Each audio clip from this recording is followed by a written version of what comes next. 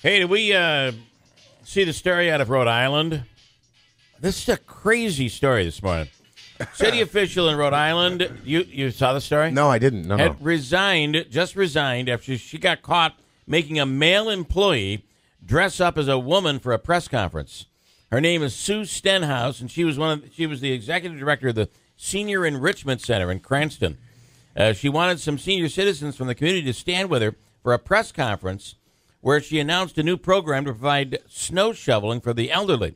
But she couldn't find any real senior citizens, so she put one of her bus drivers in drag and had him stand behind her. What? This is the craziest story. It Oh, is. She didn't seem too sorry about it either. A couple days later, a local reporter went to her house and she swore at him and denied the whole thing. All right. But so was it a lie or wasn't it? Well, the what which part? The, the that they reached out to her. Well, no. She's saying. I, she seems like she's saying the She's story been is fired. bogus. Uh, she's been fired. So they're saying it's it's true, I don't understand and why. the bus driver's saying it's true. I don't understand why the person had to dress up in drag. Why couldn't you just put someone behind me and go, uh, "This is the bus driver and X, Y, and Z. I don't understand. I don't get it either. I don't get it. Um, you know, some people have these ideas; they just don't seem to turn out all that right.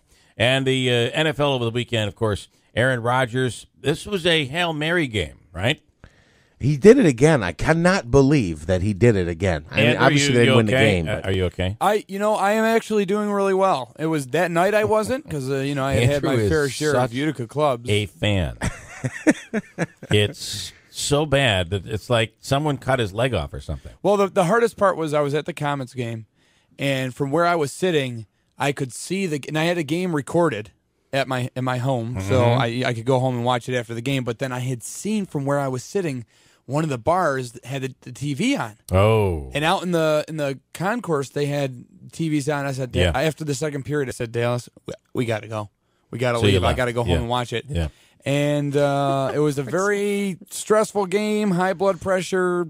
Uh, lost it a little bit when they lost. So- but I was good the next day. So Rodgers throws a hail mary pass, and uh, and it takes him into overtime. Do I have Yeah, that right? correct. And and then it was yet another hail mary pass going the other way that uh, that well, it was it took was him down inside the five yard line. It was only an eight or a ten yard pass, but nobody for some reason wanted to cover Larry Fitzgerald, so he Who ran. had been dominating the whole game. He Yeah. ran like seventy five yards with the ball. Nobody and then it could wasn't just him. that, though. It wasn't just that. So this Green Bay Packers defense has really played well for the most part all year long.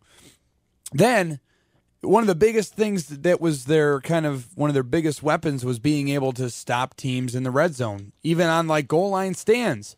So Larry Fitzgerald has this 75 yard run down to the 10, 15, and then they just let him walk right in on a shovel pass. Yeah. And it's the frustrating part for for Aaron Rodgers is he is probably one of the best quarterbacks to ever play the position, and he'll go down in history as the best, uh, one of the best to ever play. And when you don't give him a chance to touch the ball in overtime to go on to the NFC Championship game, it's just unacceptable. Well, the Cardinals started off at their own 20. Larry Fitzgerald took it 75 yards on play number one to give the Cardinals first and goal. And here, Little flip to Fitzgerald. He scores. And the Cardinals win an amazing game. So that huge Hail Mary was for naught. Got him into overtime, but that's about it. Barb, Wait, and- yeah, Andrew, is one more there any thing. more? Oh, there's one more thing. There's one more thing from Andrew, Barb, then we're going to get He's to you. interrupted the I've- you sports know, guy, yeah. the host of the show. This is I've Andrew's I've deal. gradually become more and more mature when it comes to to watching sports, but it seems like, and I'll just say this: Look it at seems like with with Green Bay, poor Barb. I'm sorry, Barb. Self-assessment, I oftentimes, oftentimes to me seems kind of like it's more of of hopeful reassurance that this Yeah. is Just that this behavior has and and somewhat potentially delusional. It's just it's I, I try and be more mature, but it's just I'm sick and tired of losing games in frustrating circumstances. We- Yeah. you know, last year in the NFC Championship game against Seattle, we had the game won. We totally blew it. yeah, I mean, he's come a long way. He almost quit the show yeah. based on the text messages we sent last year. Oh, he forgot almost about quit the show. That's Yeah. and then uh to you know the coin flip incident and you know it didn't flip the coin literally didn't flip and then the ref picked it right back up and didn't give Rodgers the chance to it, It's just I'm sick and Okay, tired of you're losing. Gonna, you're gonna have to let this go.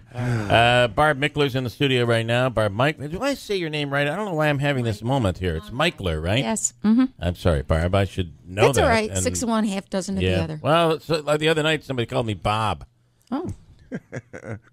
Did you answer? Where, where uh, was it? Somebody somewhere else. I was uh, I was with somebody else, and they had oh, it was that was a it was somebody who was older, but they had said, "Oh, I remember Bill, absolutely." And then I was leaving the room about three minutes later, and he said, "See you later, Neil." and I'm like, "See you later." Uh, good morning, Barb. Good morning. Uh, Barb is from the West Side Senior Center, and what do you guys have uh, going on here this morning? You have a big.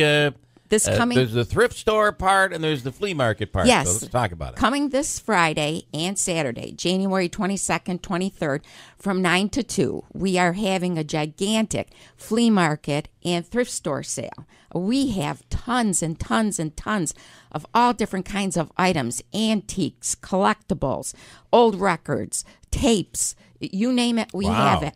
And we have tons of clothes. And so, what we're going to do uh, with the thrift stores, we have very large, big uh, shopping bags. People can fill up the bags for five dollars. Anything you can get in the bag, five dollars.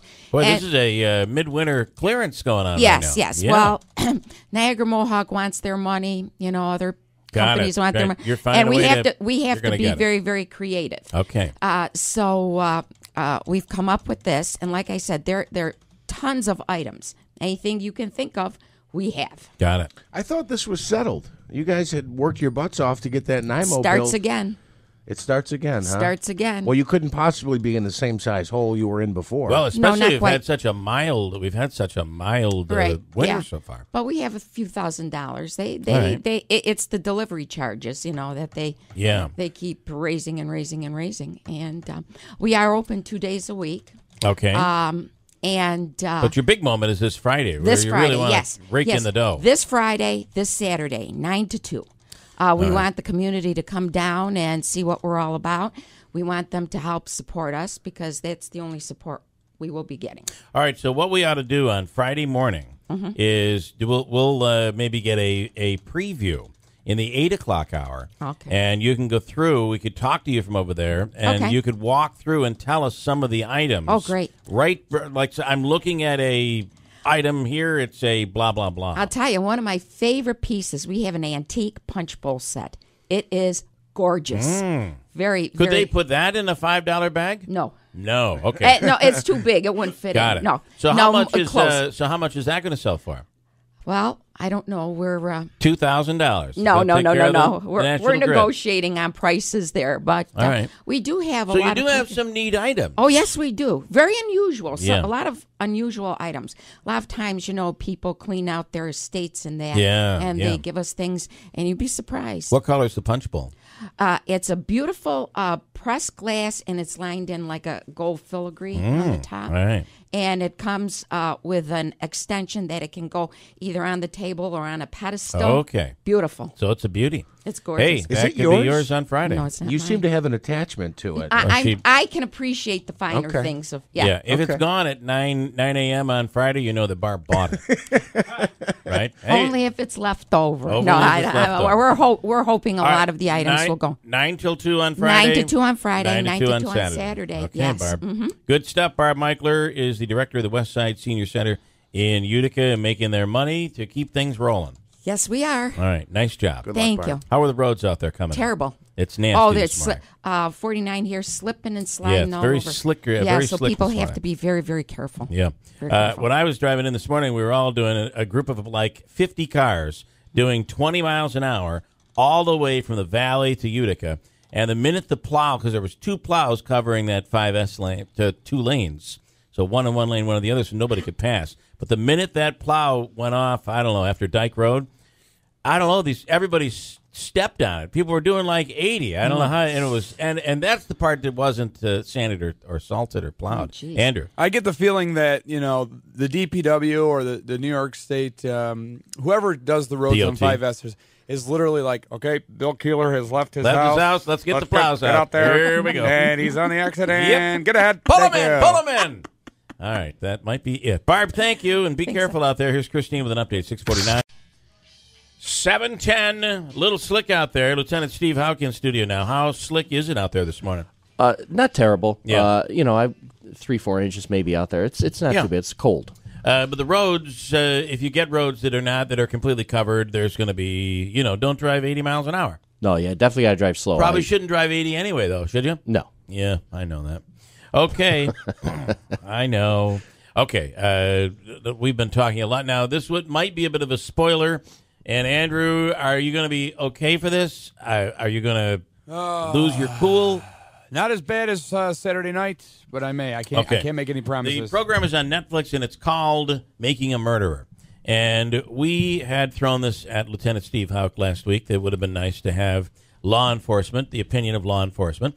And uh, through some binge watching, um, as much as you can actually handle, you have completed the entire series, right? I did. 10 episodes. And did you watch the Nancy Grace uh, piece? No. I Oh, can't my stand God. to watch her. You mean you mean her summary of the? I'm telling you. I mean the the evidence was in his car. What do you think, Donnie Wahlberg of CBS Blue Bloods? What do you think? Okay. And then we, luckily we have Nancy Grace here right now, um, who's actually uh, Who's also a Packers fan. at, at Is- times morphing is- into is a equally as irritating. Is uh, yeah, equally irritating. as equally. yeah, you're absolutely right. Okay, so first off, um, th- were you shocked by the prosecutor? Uh, I uh, at the end, yeah. I, I guess I end. didn't. I didn't- see that coming. I didn't see that coming oh, either. come on. He was a scuzzball from Oh, you moment thought- one. Come on. I But made did a you comment. see that coming? Uh, I No- mean, not that There was he- a creep factor to specifically. There was a creep factor. There was a creep There it. was. factor. yeah, yeah. I agree with that. There was. But I never I am in a an million. expert on creeps. I- listen, there are a lot of there are a lot of creep factors out there, but to see someone get caught is is usually not the case. But his bravado, he was laughing at every press conference yeah, and smiling. What do you think of that? His, those, you know, you've you've talked. Um, oftentimes, we speak with you about how the media has uh, been dealt with by municipalities, especially, and the government, uh, depending on situations that have happened. And uh, this, they really, they really put evidence out there that wasn't even real evidence. They just threw it out there whenever they had it. I was surprised all the information that was given up uh, to the media in those press conferences. I was too, and and again, you have to. I backtrack because of when this happened. This isn't, you know, this isn't a recent thing. So, Right. Uh, a couple of things. Uh, when you talk about the smiling, and laughing, I was, I felt that way about the prosecutor. I really felt that way about his uh, initial defense attorney Oh, for the for the sixteen year old. Oh, uh, I that. saw him come in, and I'm like, he, his client is gonna could possibly be convicted of Yeah. first degree murder, and he's got a grin Yeah. on his face. I, I just I couldn't. It was like he was happy to be there, It and, he, was- and he was right. already he was already declaring guilt for his client. I mean, you, Right. you don't hear that out of a defense attorney. Well, And not saying- even so much. Not even so much that. But You're then not going to going get a chance to talk. Yes, Andrew, go ahead. going as far as to have his investigator that's working for him kind of coerce a confession out of the kid. Right. And not only that, I, I could be wrong about this. I don't think I am. Before he even met with the kid, held a press conference to introduce himself, and he Yeah. was, and and go on to say things like, you know, this is going to be one of the most difficult challenges I've ever faced, and I've faced many challenges in my career. Hasn't even met with the kid to hear his Not story. met with him. And and he goes as far as to, you know, talk about Steven Avery being guilty and saying, "Oh, this was just motivated by an act of Right. pure He, evil he or whatever." throws guilt on uh, he throws guilt on Avery. Um, definitely crazy. Right. I think if you look at, I think uh, uh, certainly not an attorney, and certainly uh, I- I'm I'm not on the defense side on on many cases, obviously, yeah. where my opinions. But I think if you, I think if you're a defense attorney and you have a client that is innocent, I think you lean towards. Um, all of the case. You look at you look at the facts of the case. You look at the person. I think if you have a client that perhaps has maybe admitted guilt to you, I think now you're going to try to pick apart procedure and you're going to try to the the technical issue of the case as opposed to Right. uh, the person themselves. Uh, I think that this attorney just before he even went in agreed my client did it and, and yeah, that's it. Yeah. So he and- took and- whatever evidence I'm- was out there. Almost, almost as if he was looking for high fives or maybe somebody to buy him a cocktail at the happy hour after the day was over to be able to say, "You're not going to believe it. but We got a full confession. We got a full confession out of this kid." And it's and he and he hires a a an investigator to go in and get that confession. We're not talking about Steve Avery here. Um, this is the uh, making of a murder. It's all about him. It's his his younger nephew that the that really. I, I, let me ask you this. So beyond the Steven Avery part, would you agree it is despicable that this young kid has not been given a new trial? Uh, based on the based on that forced confession. Here, here's the one thing about the series itself is after the series, after I, I did some research into it, Yeah. and there are aspects of the case that are really, to me, vital in opinion as to whether he did or not, because none of us sat on the jury. So unless you're in the courtroom and listen to all the testimony, you really, you really just it's an opinion more than anything. However, though, uh, all it takes is one stupid move by a prosecutor or by a defense attorney that could, on a technicality, force a mistrial. Um, and, uh, for instance, talk about the, the, the confession. Right. Uh, talk about the way they interrogated that kid. Would you find that when you go into an interrogation, wouldn't you, as a police officer, aren't you in a position to say, listen, we, we want to get the confession. We believe this person did it. We want to get the confession, but we're going to make sure we follow certain procedures so that this doesn't get thrown out of court, right? Well, not even so much on a, a technical issue. It's more of a, a it's a human issue. You That want the you're- truth. right? You're not looking for a confession. You're not looking for someone to tell you they did it. What you're looking for is the truth and the facts behind it. Do you think that the, uh, the, the that they were looking for the truth? Uh, I think that's probably how they started. Yeah. I think they got very frustrated because of his inability to communicate, and I don't And think that's it- It's an necessarily intellectual issue, there. Right, I don't think he was. Uh, he wasn't some uh, mastermind that, Right. that was withholding the police's, uh, It- you know, it might be technique. the extreme opposite. Right. I, I Yeah. and I'm not saying that he wasn't that he didn't even do it. I'm Right. saying that I don't think he had the mental capability to not necessarily understand right from wrong, Right, right. or assist in his defense, which you know the the thing you have to understand, uh, you know, when you're legally in, in the courtroom as far as uh, mental capacity is. I just don't think he communicated. Uh, I Right, think it showed right. by his history. Uh, I mean, he, he obviously is not at full capacity mentally. So back to his uh, interrogation. Mm-hmm. Um, I I don't think that would have that would have lasted in a in a New York State court. I don't like the fact that they gave as a as a police officer and investigator. I don't like the fact that they gave him facts of the case. Yeah, yeah. because that's that's you know that's the reason why in many cases you know we'll talk about it and you know publicly, and there are things that just are left out. Mm-hmm. Yeah. You're you're not going to see them until they go to a trial because it, a lot of facts are only known to the killer or killers. So if you're putting the information out there, and if you remember, and I've said this to you many times, the JonBenét Ramsey case, Mm-hmm. a lot of people forget that a guy confessed to that and was arrested and was convicted and found out he had nothing to do with it. Right. He had taken all of the facts that were putting out in the case, And he wanted to be. Uh, he, wa- wanted right. to He be was for the fame or whatever the case may Right. be, and he had all the facts of the case. Don't And you want to when you're when you're in a prosecution uh, when you're prosecuting? Don't you want to be able to say, "There's no way he would have known this. This evidence hadn't been released. It wasn't in a press conference, which is another reason why they shouldn't be putting stuff out in a press conference. The uh, the only person that could have known this information is the killer." But he, they never had the ability to really be able to say that because so much information had been put out there. And if you look at the video of the interrogation, you realize they gave him that information. there's a fine line because you can't just walk into an interrogation and say, "Now tell me what you know," because Right. you're going to get nothing. Right. So you do have to talk about the case with the the Sure. suspect. So But it's that a was fine going too line. far. I think they crossed the line. Yeah, I okay. think they went too far into it, and and that and that gets into which I think is probably going to be your next thing is whether the police framed him or not. Well, I want to get into that, and um, and I want to tell you right off the bat that my belief is, I'm not I'm not willing to say this whole thing about pardoning um, uh, Steven Avery. Uh, I, I don't think I don't agree with. I'm not. I am not someone who is saying that they're innocent. Either one of them. However, I also think that there were mis things that were done inappropriately that they both deserve a trial out of that area. I think both of them deserve a trial away from that area. It was too much information got out. People had already made up their minds. Do you disagree with that? No, I think people probably had made up minds. And plus, and I'm not saying guilt or innocence Right. here. I'm saying I'd love to see it in a fair court, I don't believe they were given a, a fair shot at in the legal system. I think it's difficult when you have a case that's as horrific as a case as that is. Yeah. I think it's very difficult for any jury to sit in that jury and not want to make somebody responsible for what happened to that woman.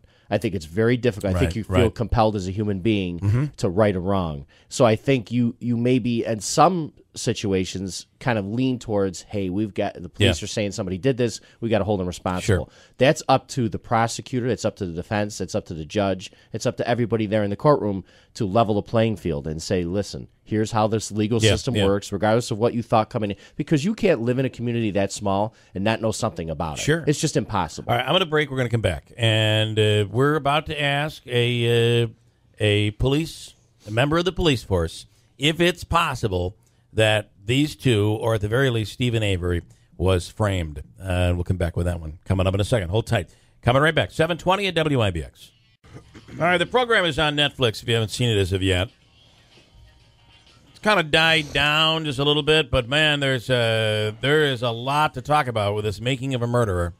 Steven Avery and his younger, very young uh, nephew or whatever, um, both of them in uh, in jail. Don't seem based on on what we've seen on the uh, documentary, which is a. Uh, do you find this is the most amazing documentary you've ever seen because it's taken more like a Dateline series, and everything is real and everything was was taped. It seemed like they had so much to work with. Every interrogation, every interview, all that stuff was taped. It it it seems to me that this is an unprecedented series that may open the door for others like this. It was pretty pretty intense, wasn't it? Uh, it was intense. I, I, I will say though, I, I don't really think it's a documentary. I think it's more of an agree. editorial. I, I think that they it- have an opinion. It could be, yeah. Although they, say they left things out on both sides. Okay. And and and to be honest, um, we wouldn't really know, right? I mean, unless we were there in the courtroom.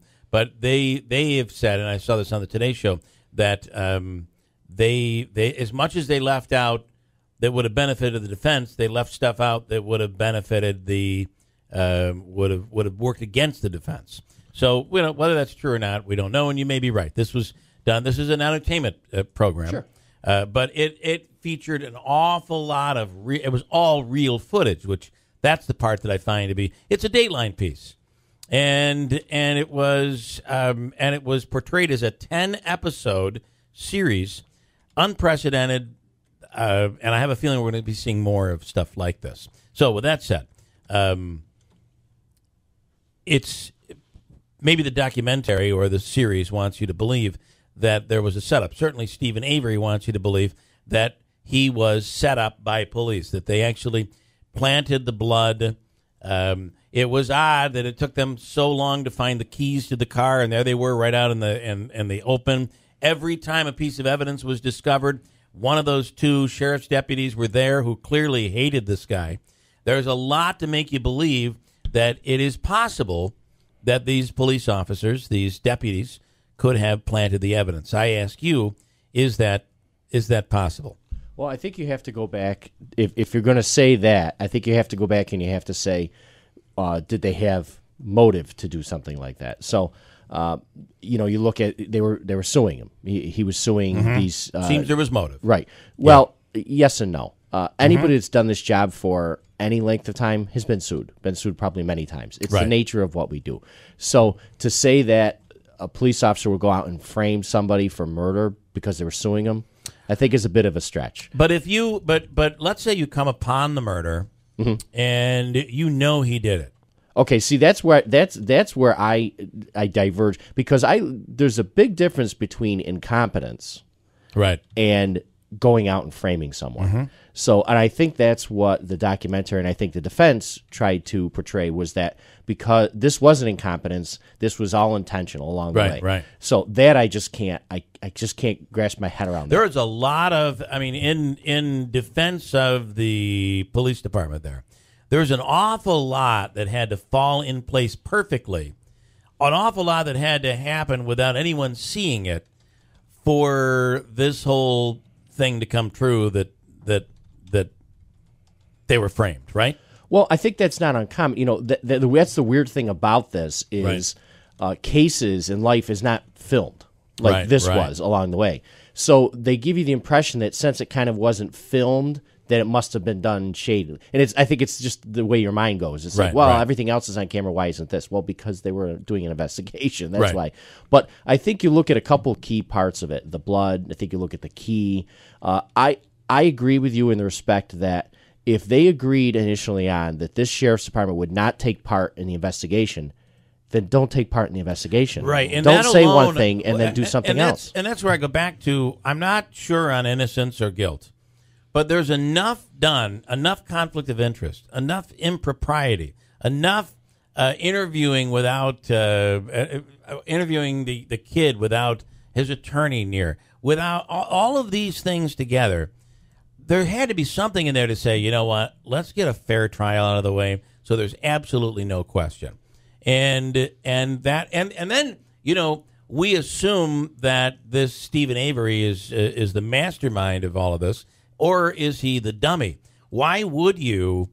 Why would you place the vehicle on your own lot and cover it up with a couple of branches? Why would you have the, the bones and burn the body right in front of your own trailer? Why would you leave the keys right in your trailer when you know they're they're going to be fingering you on this whole thing? There is so much that it, you, that as a as someone with common sense would look at and say, I would never do that. Not that I, you know, would be in the middle of a of a murder, but if you were, why would you do such stupid things? Or is this guy just so stupid that he, you know, the guy's so dumb he left all the evidence right there for police to find? But if he's so dumb, would all that evidence still be in the bedroom? Like, you know, there was. and there was no evidence of the bedroom. The the blood splatter for the kid. Let's talk about the kid. There was no blood splatter in the bedroom. None of that evidence existed in the bedroom. And they said, well, he cleaned it all up. That's that was the excuse there. He was able to now if you shoot someone the way they described that she was shot in that bedroom, would you be able to clean up all the DNA evidence? well, they said she was shot in the garage. They said her throat was slit in the bedroom. But yeah. there still would be blood. Uh, Yeah, most most of the time there would be. There there is a way certainly. There'd be to DNA clean up, but I think there. there was several days that went on, um, and and I think like one of the things they talked about was the fact that there was blood in the back of her tr- of her truck, which Right, says that the body was brought there. Right. Where I think my guess is what probably if he did it, what probably happened was after she was killed, they put her in the back of her truck, like okay, let's take her somewhere, and like wait a minute. How are we going to do that? Right. Let's keep her here. We got this huge compound. We'll figure something out. Right. They take her out. So now her blood's in there. They take her out. They've got this car. They they say, okay, we'll get rid of her. But you know, like they said, well, they had this crusher. Why not crush it? Well, it's not like it disintegrates when you crush it. It just Sure. Yeah. compacts it down. That Yeah. makes it even more evidence that hey, you did this to her because Right, right. somebody's running your compactor. Who runs Yeah. the compactor? That sort of Sure. thing. So I think it was maybe put back there and covered and said, eh, nobody will find it. You know, Uh, it's what a about- huge compound. What about the uh, chances that it was the uh, another relative that did this and is trying to pin it on Steven Avery? Well, that's very possible. Uh, Yeah. You know, again, because they don't have, you know, they don't, it's not like they have because her body was burned. They don't have fingernail Yeah. scrapings or anything from him specifically. That's very possible. Mm-hmm. But again, you have to look at who would have done it. I think there was only a couple of Yeah. younger guys in the family, like his brother. And You and- weren't uh, you weren't at all suspicious of the fact that they the the uh, blood evidence had been the box had been opened, uh, sealed box had been opened, and that there was actual a, a from a, a needle there was a needle hole that was inside the vial of blood. That didn't concern you at all. You know, I'm not a serologist, so I don't Right. do that stuff. So I can't tell you if if there would be some other reason to do that. I can Yeah. tell you that when they tested the blood and they found that it had no preservatives in it, I, I think you well, have to. I think that that, you know, that technology um, that was kind of a tainted. Uh, at least the defense is saying that is completely tainted. That test was completely tainted, and it, and it was it was allowed in court. That's where there seems to be maybe there could be we'd have new science that would would change that down the road. Well, I think it's the defense's job to say it's tainted. It would they be, say that right. with everything. It's- Sure. I mean, that's what Yeah. they're supposed to do. So. yeah. At the end of the day, uh, you believe they did it based on what you saw. Uh, I do believe. I think Both of them? Well, well, that's one thing. Is it, that's kind of the thing. It's a package it's a deal, really. package deal, It's a yeah. package deal. It's like Yeah. if you agree one Yeah. did it, the other one had to. Right, so, right. Uh, and I'm not saying the law says that way. I Yeah. think that, you know, just you know, we go that way uh, in your mind. I know. But- I agree with you. I think that's a good point. and the other thing, the one big thing that that I looked at was the fact that they found um, a DNA match under the hood of her car from him. Right. How does that get there? Yeah, that's what I. Uh, the part that I was saying. An awful lot had to be done, And that's- as part of a setup. An awful lot. and had that's to be my done. thing is having been involved in so many homicide Yeah. cases you know with along the way is there are so many hands in it and you've got to get everybody to agree Yeah. that we're going to do this to frame an individual i just Right. i don't it's so complex Yeah. i just don't see it and not the not the attorneys i'm talking about just the police officers because the attorneys are just going by what evidence Mm-hmm. Sure. presented Yeah. so uh, but the i just i see it almost impossible to see how you could take i'm not saying like one person couldn't do it but to take all these people that are involved in it and searching the yard and searching the car and then searching the house and i just don't see how you could get all that together I just, if, if I can just jump in for a second, I have two questions. One of them is about the search, where it was like they they basically took over the property. I understand it was a huge property, but for like almost two weeks. I think it was like nine, ten, Yeah, eleven I want to get into that just a little bit, and then we'll wrap this. Uh, we'll wrap this thing up. But stand by. We'll come back, and I'll take a quick break. Birthdays today, January eighteenth. It is Martin Luther King Day. Caden Ford in Newport, happy birthday, and Patricia Mementi in Utica celebrating as well. Happy birthday. Uh, the cake comes from the Florentine Pastry Shop. You get a birthday on air by going to our news site at WIBX950.com or send in a postcard. WIBX birthdays, 9418 River Road, Marcy 13403. Christine with news coming up next on WIBX. You know, one of the things about this uh, this case, this making a murderer, is that these are the scum of the earth. These people, and they're not pretty people, and uh, they don't speak well. Um, those people don't get the same fair shot when it comes to a jury. Forget police or any of that stuff. If you're an ugly person, I always said this: if you're ugly and uh, maybe you're abrasive, um, you will not most likely do well in a court of law. I think that's a little harsh, though, to say that they're the scum of the earth. Some would say that they're the salt of the earth. No, it, uh, what I'm saying is, according to this community, this this family's the scum of the earth. Right. I think that's a fair statement, right? yeah I, and people I'm have to not remember this is a that they very are. small it's a I'm very not small saying they community. are. We're Right, talking about a small saying. It's the perception. The perception, uh, not even the perception. It's what the people there seem to think about this family that they're scumbags. I think they had good intent with trying to get a fair investigation by in, in bringing us, you know, a fair trial. They brought in a special prosecutor. They Right. had, uh, you know, the sheriff's office. The problem is, we went back to it is Why? they, the, why were those two sheriff's deputies? they didn't take over the investigation. Right. It's the, maybe maybe they tried to give the you know the impression that Yeah. they did, but they didn't. What they probably should have done is probably moved it to like Green Bay and. Uh, you know, totally away from the area, a few hours away. No, you know, uh, remove those sheriff's deputies from the scene. Right. Um, Absolutely. And they didn't. And isn't that enough to say there's a reasonable doubt?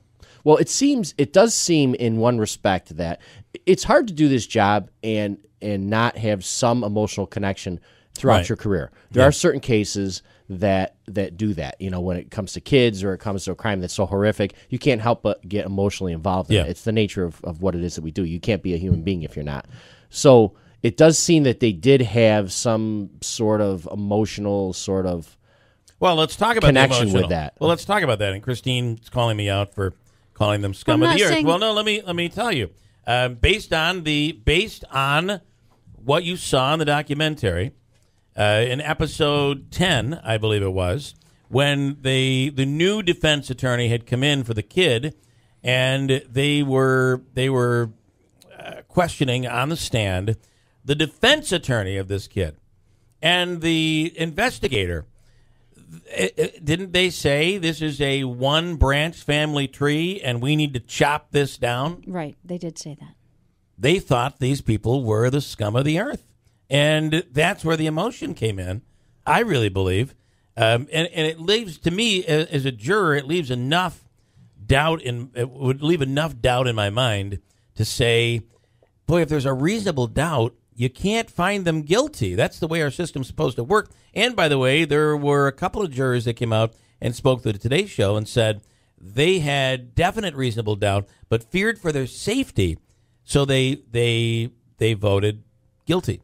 I mean, that's to me, there's a mistrial in itself if they could prove that. Manaski had questions. So it gets back to the search. Uh, one part of this question is the key, but if police take over, whether it be a property or I know this was a huge property, are there guidelines on how long that you can take over a property when you have a search warrant? No.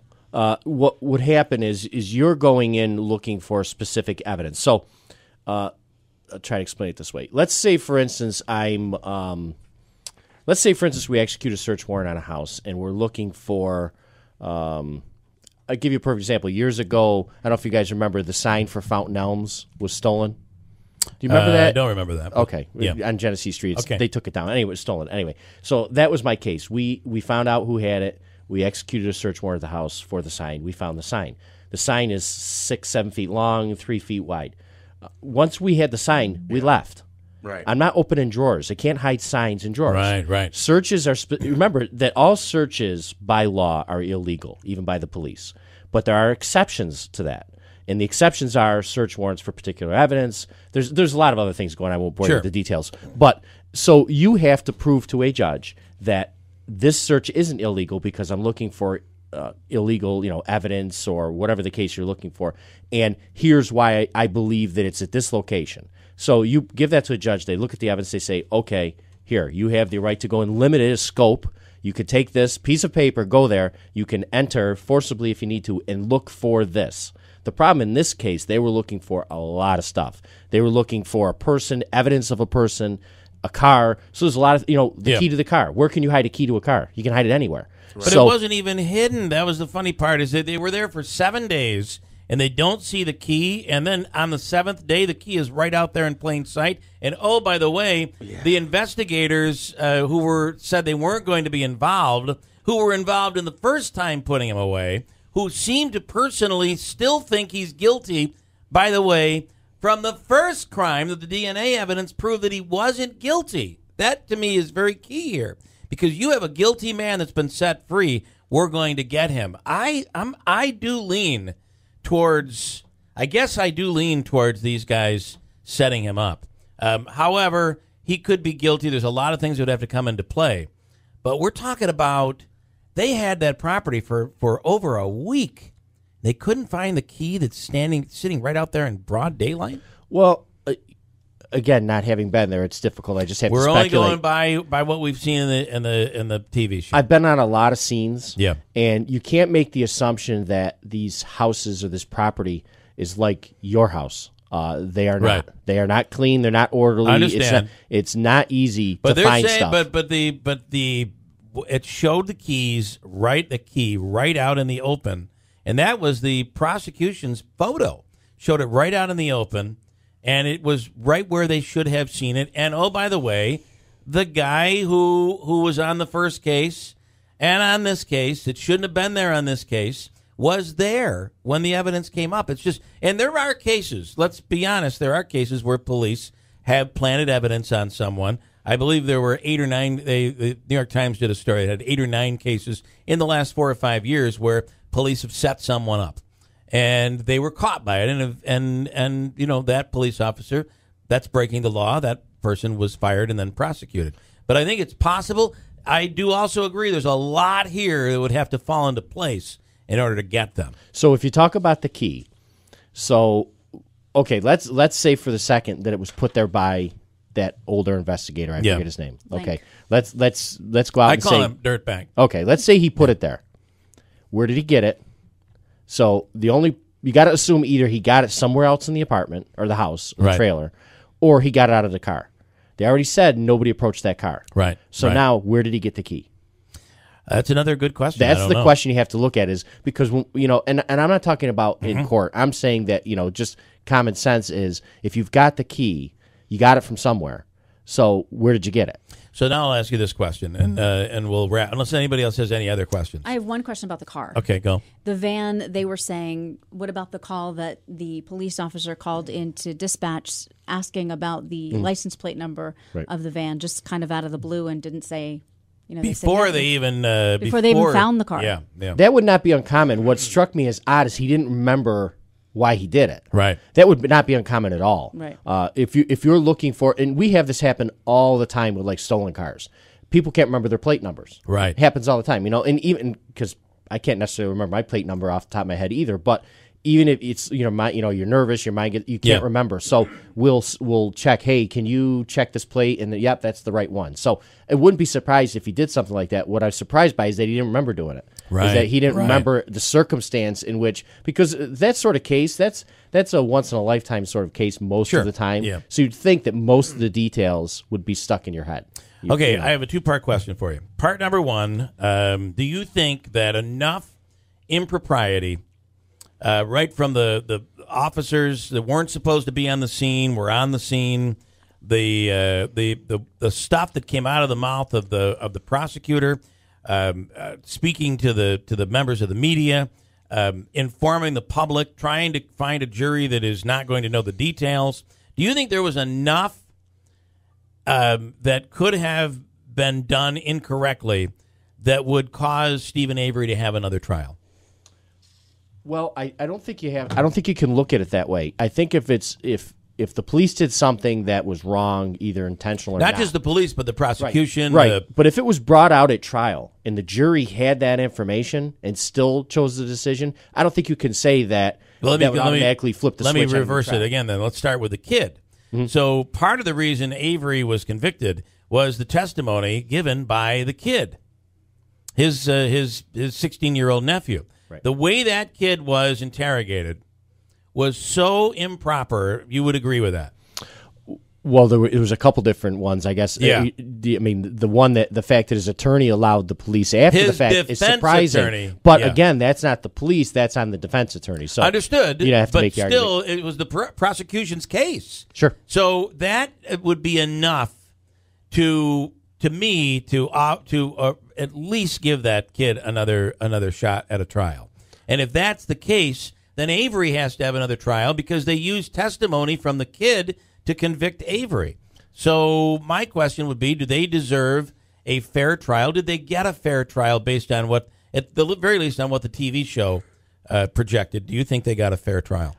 I, I can't. I don't think I can answer that because Yeah. I think I'd have to know what was actually brought out at trial. Um, because you know when you talk about overturning convictions or Right, ordering new trials, right. that's something they don't do lightly. Because they look and We they say, that, you know, you know, jurors sat down, listened to the case, formed an opinion. What right do we have to overturn that process? I think they really have to have, you know, really sort of conclusive evidence that something really was done wrong, not just mistakes. Let Because me mistakes you- happen in every case. Let me ask you this then: um, If you were you were handling this case, how would you have handled things differently? Well, you certainly, again, if you're going to recuse yourself from the investigation, then you've got to recuse yourself from That's the one. investigation first and foremost. Yeah. Uh, and I certainly would have, even if you were going to have, say, a hand in the case, I would not have had the the two people that were the targets of his uh, Lawsuit. uh, lawsuit. Who still think he's guilty from the case that the Right. DNA the Right. DNA excused him from? Right. They were the wrong people. This would be two, and then the interrogation process. I think that would you would definitely. I can't imagine you would do the interrogation the way they did it. No, because and not even not even for the purposes of the defense. Yeah. it's for the purposes of your case. Because let's Right. say, for instance, you You, give, want your case to stand up in court. let's say you give him the information, and let's say you don't charge him and you let him go. Now he's taking that bit of information and running with it, and, Right, And who right. knows who he's telling with it Sure. to use, uh, you know, in their defense of themselves. So I just don't, I don't think it's good police work in that respect. But again, I can't, I just can't, based on what I saw, I can't make the jump from that to they framed him and they actually didn't do it. Uh, that, I- that's a big jump. I came out of here not wanting to have anything from Wisconsin. I don't want to consume anything from Wisconsin. I don't ever want to go to Wisconsin. Andrew's not even a Green Bay fan anymore. Uh, right, Andrew? Is that true? It's pretty close, right? That's right. Okay. Uh, either way, pretty compelling series, would you say? No, it was really it was it was interesting. And again, the only thing I go to is I I it was leaned heavily towards one way. I agree with that. Yeah. and and you know, incompetence doesn't necessarily mean that um, you know, you framed somebody. I do think they right. were incompetent. I think they made a, a But ton incompetence mistakes. could uh, require a new trial. It could. Perhaps. Again, Yeah, you have to know yeah. what the jury was told. Yeah. If the jury was told of that incompetence and still made the decision, then Right, yeah. they did. Do you think it was as compelling as Shades of Blue? Uh, Shades, Jennifer Lopez? oh, Shades of Blue. Oh, jeez. How, how could you? How could you Was not that watch last that? night? I don't Uh, know. He was just busting on it in break. I mean, I mean, the acting is just impeccable. All right, amazing. got a break. Uh, Lieutenant Steve Hauk, I appreciate the extra time on this thing. We're all uh, enthralled in this. We can't help it. We've all seen it all the way through. I think Andrew's watching it now for a second time. Um, and each time he watches it, he text messages me about something else that he's disgusted by. Quick break at WIBX. All right, coming up on Sunday is the 13th annual United Way tailgate party on the NFL Championship Sunday. It's this Sunday. Waterfront Grill between 1 and 5 p.m. Assemblyman Marc Butler and Rocky and Barb Fiato at the Waterfront Grill have put this on every year. And it's this Sunday, 1 till 5 at the Waterfront Grill, 800 Mohawk Street, Herkimer. There'll be uh, all you can eat food and prizes, and uh, Marc Butler will be there to be the MC. Details or tickets or any of that, 733 4691. It's $20, and the money goes to the United Way of the Valley and Greater Utica. So check that out this Sunday. And in studio right now is Tito, Tito Sion. Good morning. How are you, sir? Good morning, Bill. Uh, glad to have you in. And uh, Tito is a lacrosse coach. You've been selected to coach a U.S. team of lacrosse players going to be playing in Germany, right? That's correct. Yes, So, and you brought some of these guys along here. I did. We're Uh, pretty hot in uh, in lacrosse in this region. we are. We're we're very blessed, uh, especially in our area with all of our local schools having it, and Yeah. there's good lacrosse in the area. And then, of course, Syracuse is always uh, one to look at for for lacrosse. Absolutely. Yeah. So, all right. So, tell us how this whole thing went down, and, and who's going to be playing, and who you brought with you. All right. Well, first I brought uh, Zach Wright. He's one of our defensemen in long stick midi. Zach Hi, Zach. Wells, who is a defenseman, and Jimmy Vanu, who's our face-off guru and midfielder. All right. This started back in November. I received an email um, that I actually thought was some sort of a scam. Yeah. And uh, I did some investigating on it and, and checked into it and found out that it was legit. Um, and, you know, after making phone calls, so I told them that I would be interested in what I needed to do. And when they told me that I could pick my own team, That's big. yeah, that's huge. Yeah. So I started doing that um, and talking to the different schools. I've talked to um, kids from Proctor, New Hartford, Whitesboro, um, and of course RFA, where I coach. And um, then Brigham Joy, who is in charge of America's team, asked me for my coaching resume, sent it in. He called all my references, and the day he called the last reference, he called me up and he said, "We'd like to offer you the position." Wow, that's a pretty huge honor. yeah. And what a great honor for these kids to be able to play.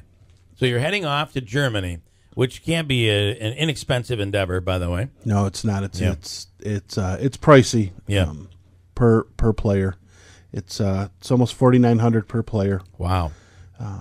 But that does include their airfare, you know, there and back, uh, hotel every night that we're there, breakfast and dinner every day, transportation between the different cities that we'll be playing in, um, uniforms. So when you think about it, it's really not that much. Um, Right, right. you know, but we're uh, we're trying to do as much fundraising as possible. Um, again, I, I I don't want the any of the players to have to pay a dime Sure. if possible. You know, And when do you when do you opportunity? when do you leave for this? When do you uh, head to Germany? August first. Okay. Yep. So this will be off season time, and um, and explain the tournament how it how it goes and who you'll be playing, and um, obviously your your your uniforms will reflect the fact that you're representing the United States. That's a pretty cool thing. Yeah, absolutely. Um, I actually brought our itinerary. Um, we go to the Munich area, um, Deggendorf, Heidelberg, um, and we play all club teams that are over there. Got it. Lacrosse isn't as big over there as it is here, but good athletes are good athletes. yeah, absolutely. So uh, each you know each day we'll have a game. Uh, we play the first four quarters will be U.S. lacrosse, USA lacrosse rules, and then the fifth quarter, all the kids throw their stick in a pile from both teams.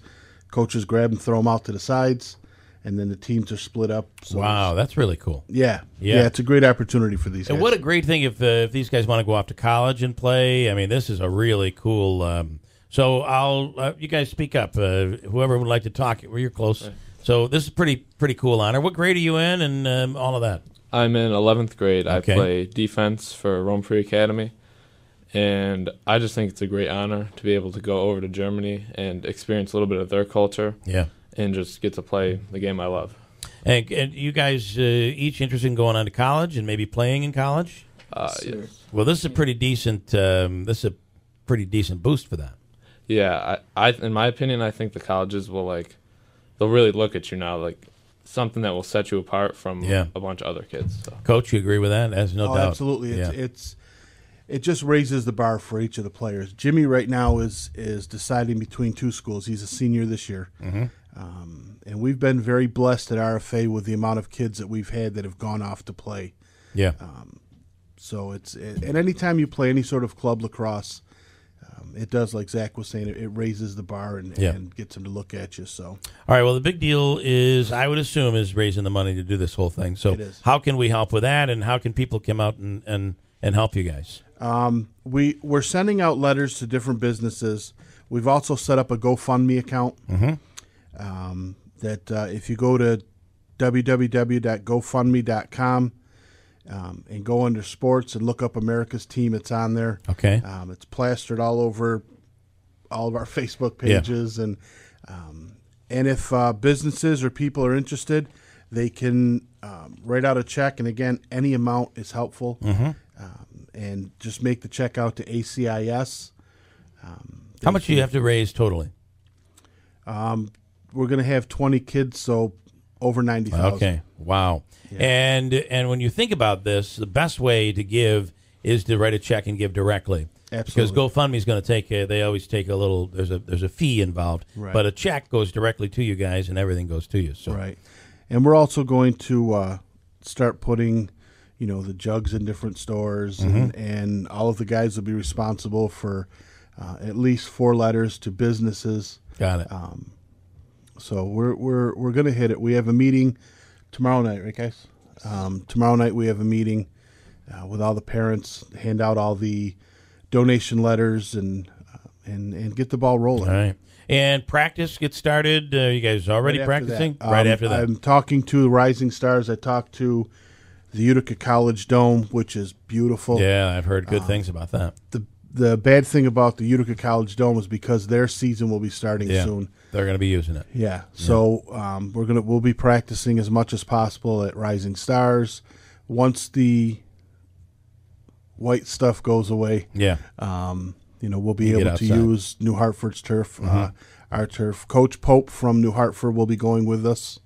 Um, he's a offensive guru, Mm-hmm. um, which these guys know that firsthand. Yeah. Uh, so Uh, what an honor, what an experience, what an amazing experience for these kids. So- Absolutely And for you guys as well. absolutely, All right. yeah. Again, uh, is there a phone number they can call if they have questions Uh, they, how they can, could? they can they can call me directly. Uh, it's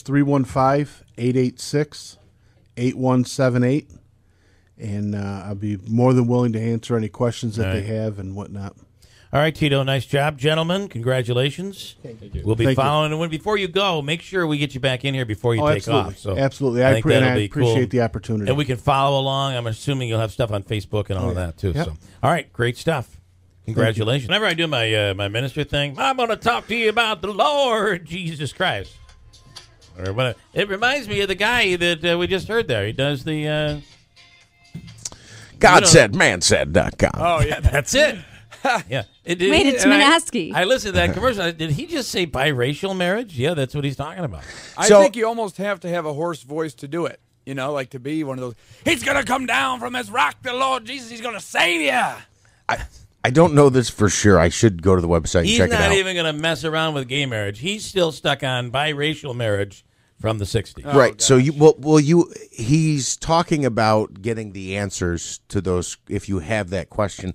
I don't necessarily think that he is I, I I don't know this, but I- I don't think that means that he is preaching against it Yeah. or saying it's wrong. He's saying this issue comes up, we have the answer on our website. He's pushing he's pushing the website to go find answers to your Because questions. uh, I know at Thanksgiving, we just could not stop talking about biracial marriage.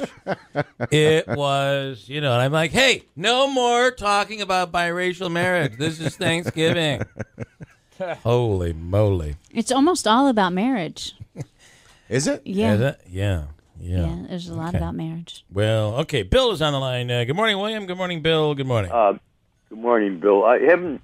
I didn't see anything in the paper about the Notre Dame uh, juggler basketball. Uh, the result uh, from yesterday, the boys. Uh, Uh, I'm checking. I know Manaski's that big on that tournament right was this weekend, but I don't know what happened. yeah, Um, nothing in today's paper about the boys. There's a girls' score. But, Uh, Nagel wanted to correct us here. Man said, God said is more accurate. Uh, man, said, God, said. uh, Okay. okay. Right. Well, there's also and there's also a dating uh, thing in here too. So Is there? marriage and Okay. dating. If you haven't gotten married yet, All you right. can Okay. get a dating thing. Yeah. It's a actually a marriage uh, dating service for evangelists, and it's really quite exciting. A lot of loud uh, talking going on. All right, Bill, we'll, we'll try to find that score for you and have it in the news at eight thirty. Okay. okay. All right. Well, thanks. Uh, in studio right now is Mayor Jackie Izzo. I can say that now. Congratulations. And thank you. And uh, you know there was this big uh, spread on uh, what you're doing and on Rome and the potential progress in the OD over the over the weekend. You're uh, you you jumped right in here. Well, that's what that was the plan. Yeah. Uh, we our transition work paid off in December because we we were able to jump right in once we got in the building. So we uh, we've done a lot in the last two weeks. Um, this is kind of foreign to me having a day off. Yeah. uh, and you know we're, we've got a lot more going on uh, toward the end of the month, and we, just a lot of good things. Uh, we're trying to meet with as many people as we can. We cleaned up some of the uh, department meetings that we didn't get to in the transition. We've got a few more this week, so it's it's been really good. The the employees have been very welcoming, and that's been very nice for us. And what about this? Uh, I, I read something about a federal deal, a meeting you had with the feds that might mean something when it comes to economic development or something going on. Is there anything you can say about that? Uh, not right at the moment, but uh, yes, it would be uh, really good for Rome. Um, it, it will kind of solidify all the things that we were talking about during the campaign. Um, it'll get us off on a track of uh, really s- studying our community and having the federal government help Yeah. us facilitate that, which would be fantastic. And it will happen quickly if uh, we get this all tied up. All right, very nice. And one of the things that you talked about during the campaign a lot is that, uh, you know, Rome has so much to offer. Uh, there's the housing issue, but then, of course, there's the base where uh, it's already state of the art, ready to go. If this, you know, if this whole thing comes together with with uh, nanotechnology, as it seems it is, there could be some uh, some offshoots, if you will, uh, for for Rome and the base.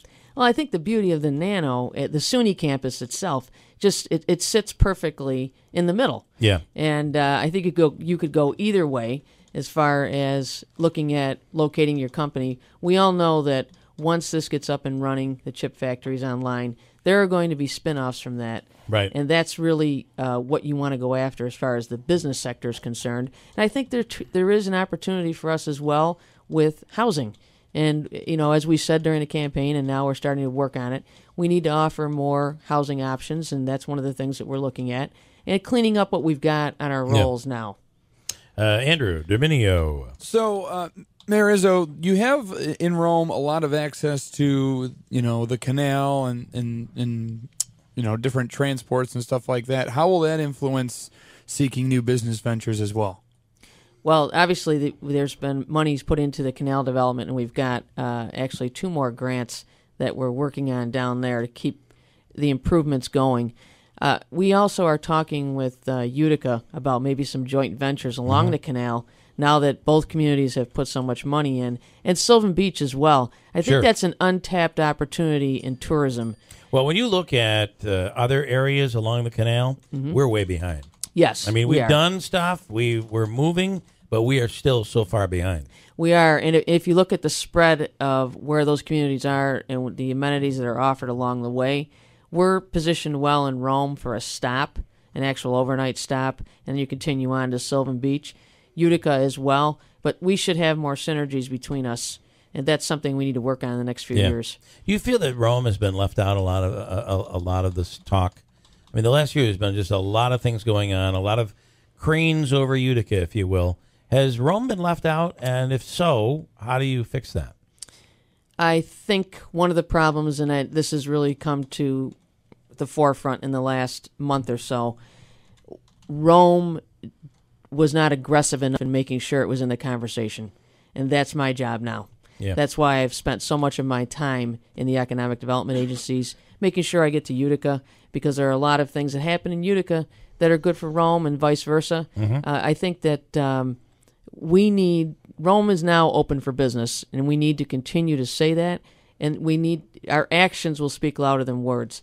And so, uh, one of the things that I need to do is to continue to let people know that we're here. We have a lot to offer. Our city uh, can still grow uh, exponentially with uh, business, and not just at Griffiss. Yeah. Also, off into the city itself. And uh, any tough decisions that have to be made? Is there any surprises you've been you've uh, you've uncovered as you as you entered the the office? I was. I think we were all very disappointed in the condition of the city hall building. We have some real structural issues there that we have to address. So one of the things that we've been doing when we were in Albany the other day is looking for money. Yeah. Uh, and I think that we will be successful in that. But these are there are repairs there now that have to be made, and they will have to be done within this 2016-17 cycle. Once we get that straightened away, Yeah. I'm the.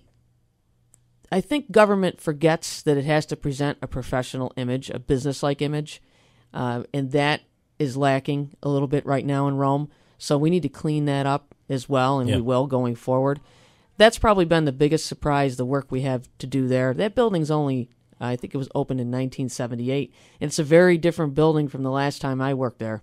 Uh, we a lot more office space. Yeah. Uh, just different things have happened there. But one of the great things is the employees are just fantastic throughout this throughout the city. They've been more than welcoming and and uh, helpful, and so we're looking forward to that relationship going forward. And then I we we really didn't talk much about this when you were on the uh, on the campaign trail, but uh, and that really was uh, I think your choice.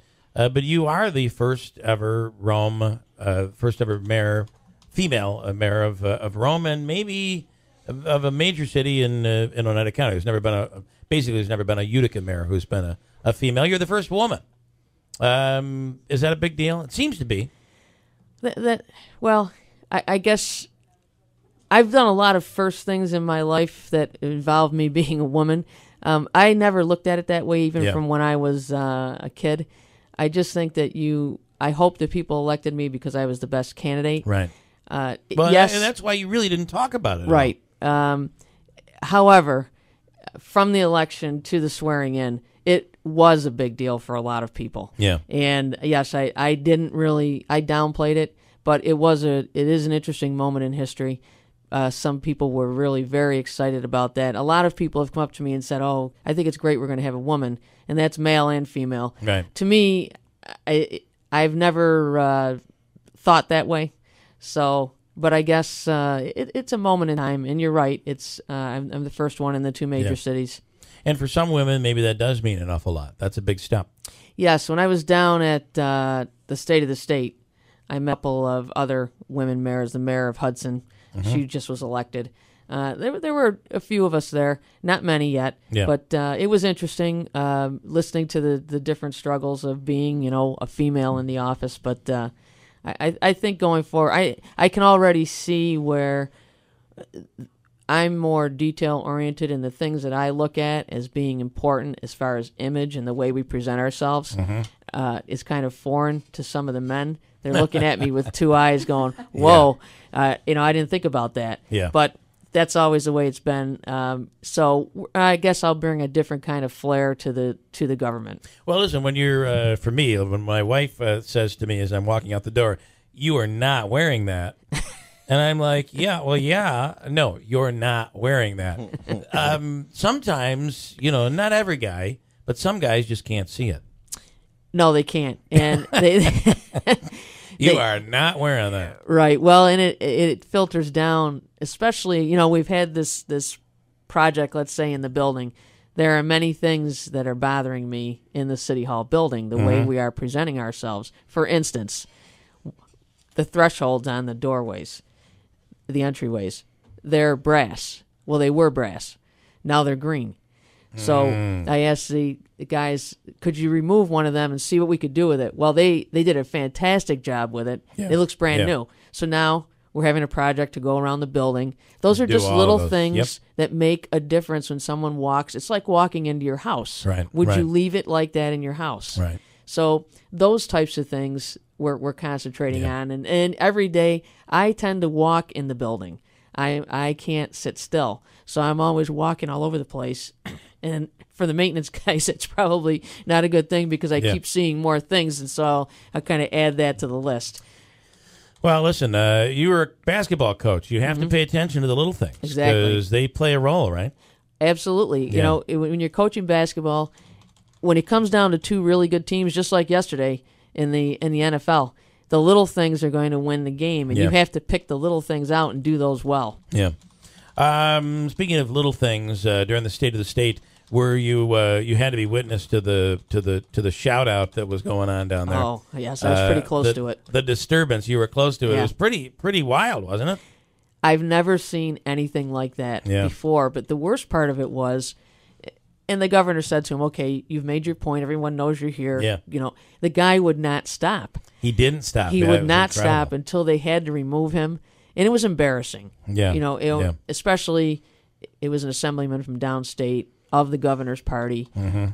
And that wouldn't have mattered either way, but Yeah. you know, there is a decorum that you need to follow and a respect for the office. And I, I, There I've was no been- following that there. no, I, I've been around for a lot of years, and I've seen a lot of different things. Yeah. but I've I never witnessed anything like that on a on a major stage. Yeah, and there was a local tie-in to the uh, to the escort out. It was Joe Morelli, who is related to the Joe Morelli Greens Morelli here. The Oh, assemblyman was? from Rochester is the one that escorted him out. so. Yeah, I uh, I could see them, but I well, you know you weren't paying attention to that Yeah. so much. You were just happy they were getting him out of the room, and we could continue. And if we can talk debates, uh, talk a public presentation, your public speaking, the governor, um, I thought he handled that pretty well. It got very loud. Uh, the governor Mm-hmm. became, I mean, at one point he's like, you know, uh, just because you yell doesn't mean we hear you or you're right. Yet the government, I think the governor was really yelling over him.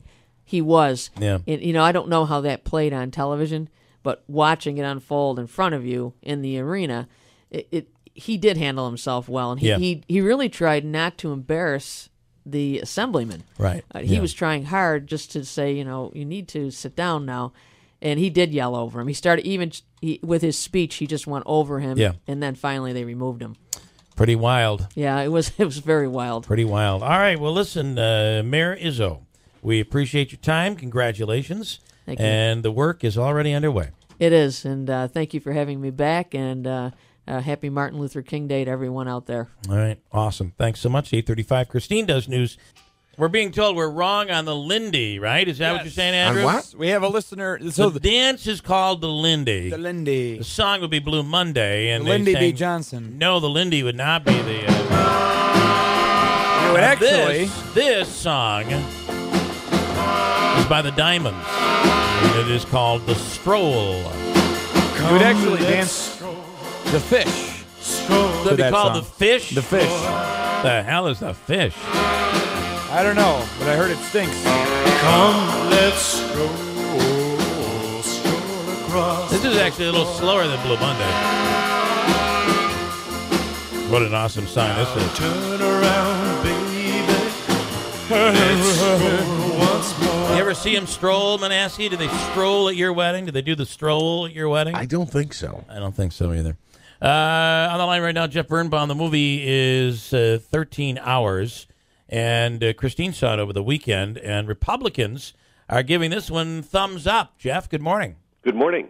Um, uh, the, uh, accuracy. Um, I'm hearing. I'm hearing back and forth on this, but um, it, it is a very, very compelling movie. It's uh, by director Michael Bay, who knows how to put together an action film. Uh, he has put together some of the best of them, the Transformers series, uh, Armageddon, among others. Uh, I think the latest Teenage Mutant Ninja Turtle movie, by the way. Okay. Uh, but otherwise, Yeah.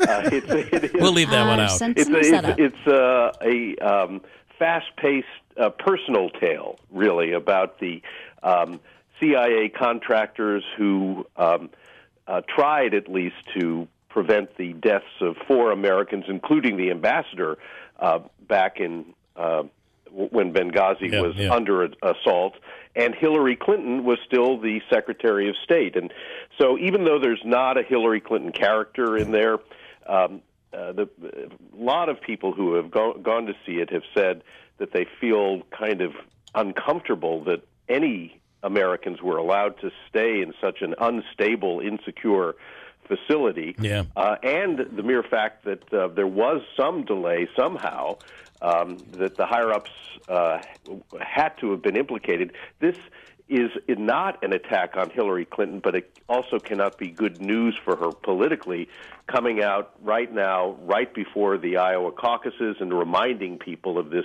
terrible incident under her watch. You know, I, would say that this is a dig-in movie.